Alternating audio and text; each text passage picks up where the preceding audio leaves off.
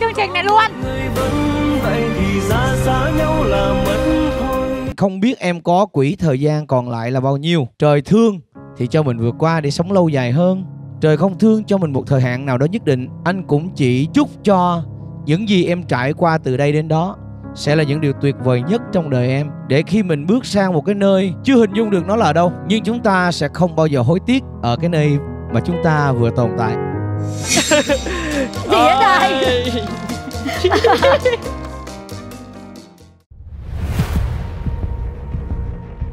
Sau tất cả ý kiến của ban cố vấn, nữ chính Nhã Uyên sẽ đưa ra lựa chọn như thế nào? Kết quả sẽ có sau ít phút.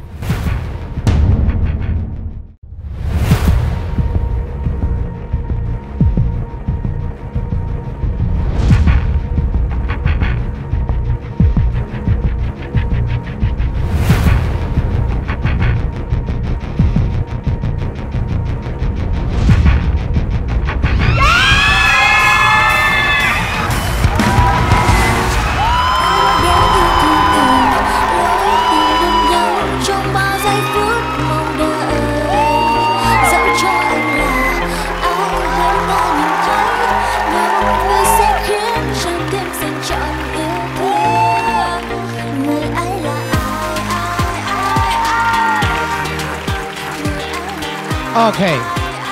Mình vào trong để chuẩn bị nào chúng ta gặp lại nhau sau.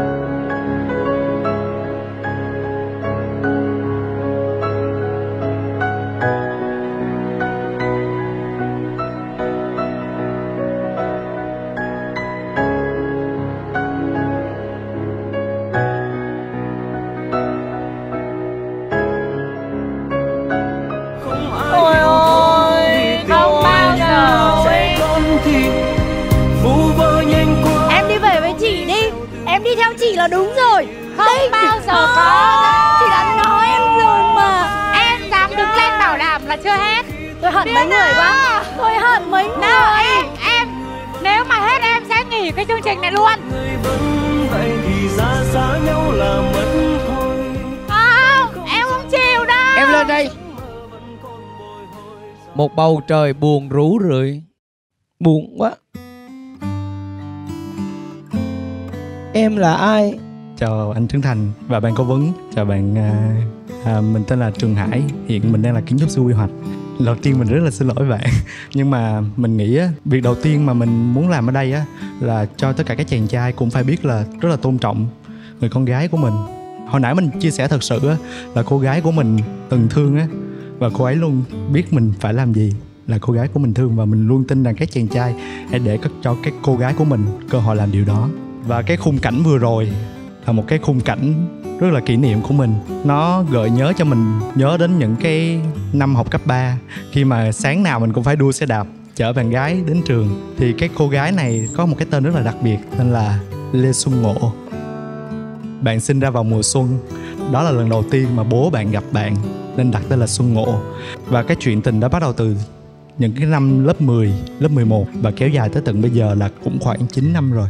Lúc đó mình luôn mong muốn rằng cái cuộc sống của mình sẽ êm đềm trôi như vậy thôi, không có một biến cố gì xảy ra và mình sẽ rất là hạnh phúc như vậy. Nhưng mà vừa mới Tết vừa rồi thôi, có một biến cố xảy ra với cuộc đời mình. Tháng 1 vừa rồi trong lúc mà mình được nghỉ phép á mình đi xét nghiệm thử cơ cơ thể của mình thì mình vô tình phát hiện ra mình có tế bào ung thư trong người không như mọi người khác, thì lúc đó mình không biết phải làm gì. Lúc đó mình không suy nghĩ gì, không biết phải làm gì, không biết nói gì. Không buồn, nhưng mà cũng chắc chắn là không vui. Mình bắt đầu đặt vấn đề cho mình là mình có vài chục ngàn tế bào ung thư, trong khi mình có cả trăm triệu tế bào khỏe mạnh còn lại trong cơ thể của mình.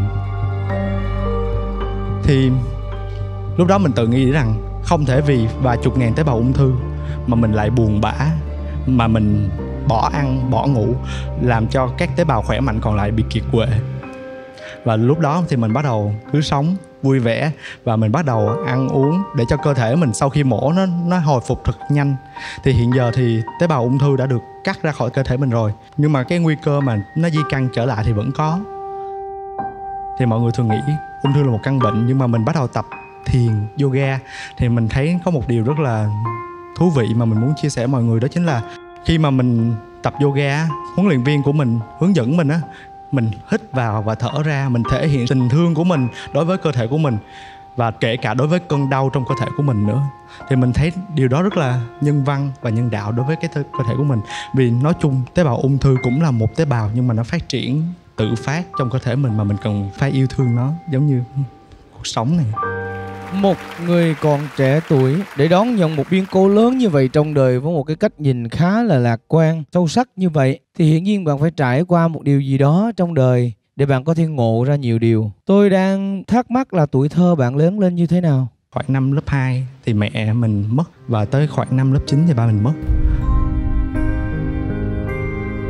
Nhưng mà để rất là nhiều người thí dụ bây giờ còn cả ba lẫn mẹ không cảm nhận được cái nỗi đau đó đâu. Tại vì theo mình quan niệm á ba mẹ mình á là những người mà yêu thương mình vô điều kiện trên đời này. Và khi mà mình mất đi những ba mẹ rồi cảm giác giống như là mình mất đi hai người yêu thương mình vô điều kiện nhất. Và đối với mình đó là một bước mát rất lớn. Nhưng mà để trả lời câu hỏi của anh Trấn Thành á thì mình nghĩ á, nó giống như cái hashtag của của em về anh Trấn Thành. Thì mình lúc nào cũng tập đặt cho mình nhiều góc nhìn của nhiều người khác nhau. Mình đặt góc nhìn của người này, người kia và mình nhìn cái vấn đề đó.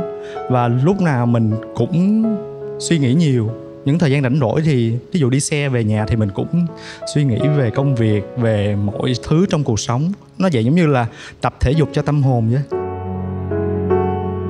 Thật sự ra mà nói như thế này, Có lẽ ông trời cho bạn một loại năng lượng có thể tự cảm nhận vấn đề. Trải qua biến cố rồi nhìn biến cố với một góc độ khác đi. Tôi đang thắc mắc là cái cô gái mà đang ở với bạn đã đón nhận cái hung tin này như thế nào và cô ấy yêu thương bạn ra sao? Sau đó cũng như là hiện nay cô ta đang đóng cái vai trò gì trong cuộc đời bạn? Thiệt ra tụi mình chưa có cưới nhau nhưng mà hiện giờ mình nghĩ á, thì mình không có nói trước cuộc đời của mình nữa. Và mình cũng không muốn ép buộc một người nào đó phải trói buộc cuộc đời với mình.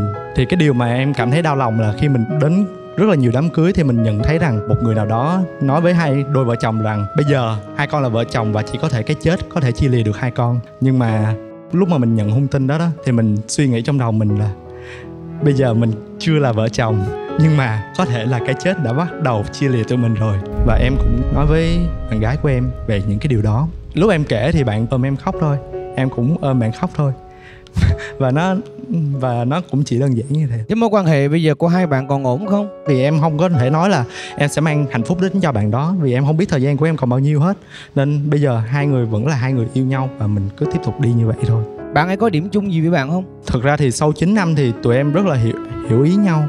Nhờ bạn đó mà em học được một cái sự là tôn trọng người con gái. Phụ nữ lúc nào cũng cần sự bình đẳng. Rất là nhiều người cho rằng á, là đàn ông phải quyết định hết tất cả mọi sự nhưng mà theo em thì các cô gái cũng rất là mạnh mẽ và em nên cho họ cơ hội làm điều đó. Thưa quý vị, tôi từ nãy giờ cứ tưởng là chương trình đến đây cũng còn cú lừa nào đó. Ngay cả Hương Giang cũng còn mạnh miệng tuyên bố nếu đây là đỏ thật thì không làm giám khảo không làm cố vấn nữa. Eo ôi nó lại đỏ hơn cả cái đỏ. Và một cái cậu trẻ tuổi như em mà phải chịu đựng cái điều này thì đúng là thử thách thiệt. Và anh không biết em có quỹ thời gian còn lại là bao nhiêu. Trời thương thì cho mình vượt qua để sống lâu dài hơn.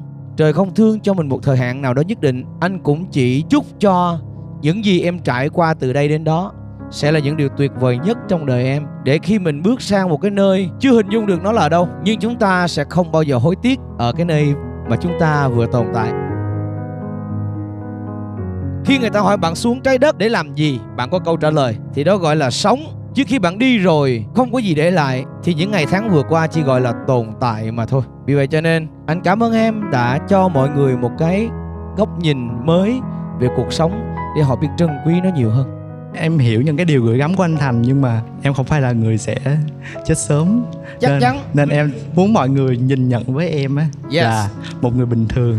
Mình mà mình tin là mình sống lâu là nó sẽ sống lâu. Đúng không em?